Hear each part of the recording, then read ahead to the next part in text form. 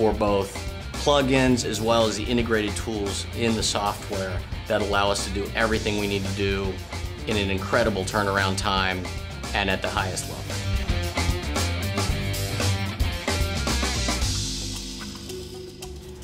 So in episodic, for a typical timeline on a per episode basis, there's approximately two weeks from a locked cut to final delivery. For our bigger effect shows, take Agents of S.H.I.E.L.D. as an example, or American Horror Story, we're doing anywhere from 50 to 200 shots in an episode. A lot of times uh, for Agents of S.H.I.E.L.D., for example, a good proportion of those shots are all CG shots, or 80% of the screen is CG elements.